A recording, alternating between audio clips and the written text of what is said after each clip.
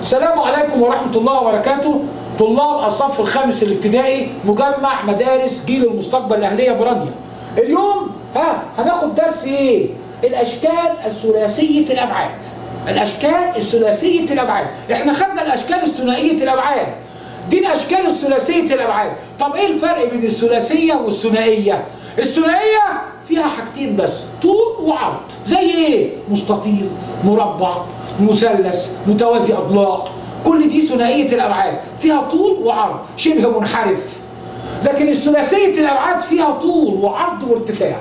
فيها طول وعرض وارتفاع. خلي بالك تاني معايا. طول أهو. عرض أهو. ارتفاع هكتبها عليها طول. عرض. ارتفاع ادي الاشكال الايه ثلاثية الأبعاد. ده اللي فوق ده واللي تحت ده اسمه إيه؟ وجه. ده اسمه إيه؟ وجه.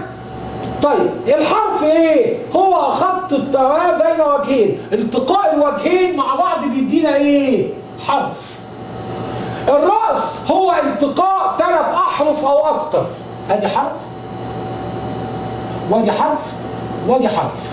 اتقطعوا فين؟ في الرأس. اتقطعوا في الرأس. عندنا الأشكال أهي. ده منشور رباعي ممكن يبقى مكعب ممكن يبقى متوازي مستطيلات على حسب الشكل. لو كله مربعات يبقى مكعب. لو كله مستطيلات يبقى متوازي مستطيلات. منشور له ستة أوجه. ادي واحد اتنين والأربعة اللي في الجوانب. واحد اتنين وأربعة في الجوانب. ادي واحد اتنين تلاتة أربعة. واللي في الوش. يبقى ست أوجه. مستطيلة وممكن مربعة. بما فيها القاعدتان ماشي. المنشور الثلاثي اللي زي الهرم زي حتة قطعة الجبنة النستو. منشور ثلاثي. ها كله مثلثات.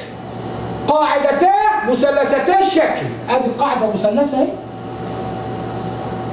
والقاعدة اللي تحت مثلثة.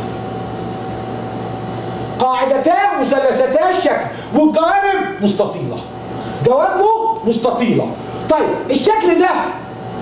اسطوانة دائرية له وجهان والاثنين على شكل دائرة مجسم فيه قاعدتان دائريتان. يبقى فوق دائرة وتحت دائرة متوازيتان ومتطابقتان.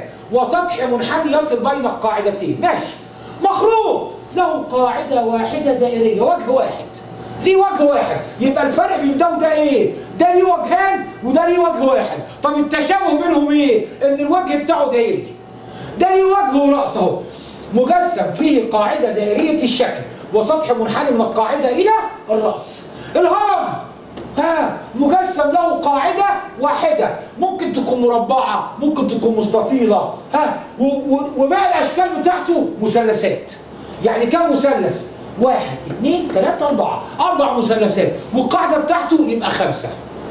طيب يبقى شكل إيه؟ خماسي. ممكن يكون مربع ممكن يكون خماسي. وأوجهه الجانبية على شكل مثلثات. عايزين نذاكر الكلام ده كويس.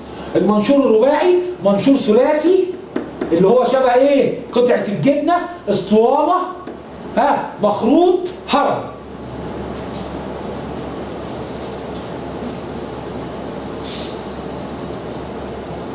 يلا كده نوصف الكلام ده. ده إيه ده اللي إحنا قلناه؟ ها؟ إيه اللي شبه قطعة أيوه. ها منشور ثلاثي.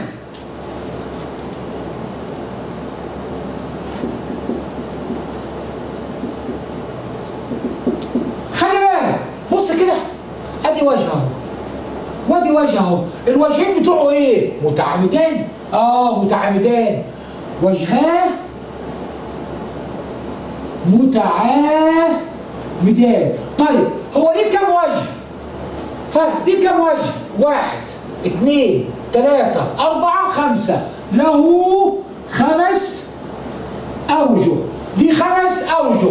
ده عبارة عن إيه؟ متوازي أضلاع. وده متوازي أضلاع. وده مثلث. وده مثلث. يبقى هنا قاعدتاه متطابقتان. على شكل ها مثلثان. يبقى قاعدتان ها مثلثان متطابقان. اسمه إيه؟ منشور ثلاثي. اسمه منشور ثلاثي. طب أنا عايز أعرف فيه كم حرف؟ واحد اثنين ثلاثة أربعة خمسة ستة سبعة ثمانية تسعة تسعة أحرف. يبقى فيه كم حرف؟ تسعة أحرف. يلا نشوف الشكل اللي بعد كده.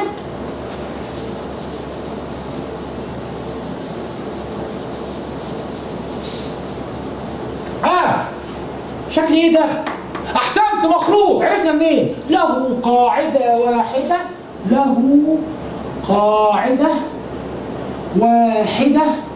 دائرية الشكل. يعني قاعدته اهي دايرة اهي على شكل دائرة. ورأس. واحد. ها. وده إيه؟ ها. سطحا منحنيان متقاطعان في الرأس. بيتقطعوا فين؟ في الرأس. بيتقطعوا في الرأس. يبقى ده اسمه إيه؟ منشور. ده منشور؟ لا ده مخروط. ده مخروط. طب ده متوازي مستطيلات. منشور ها مستطيلي مستطيل اسمه متوازي مستطيلات.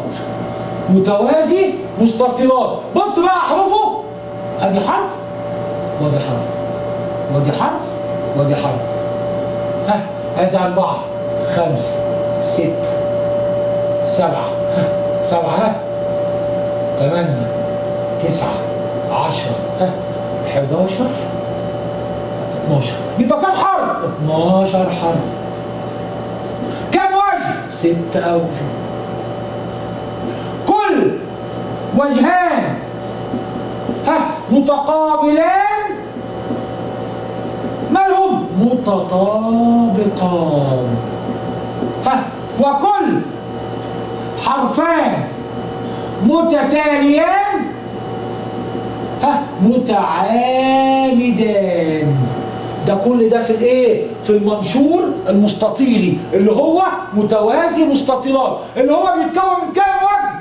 ست أوجه ست أوجه كلها مستطيلات الست أوجه كلها مستطيلات تشوف اللي بعده؟ الواجب ها هنعمل الواجب ده إزاي؟ يلا كده نفكر نفس الشكل اللي إحنا خدناه. واجب. يلا. كم وجه؟ ها ستة.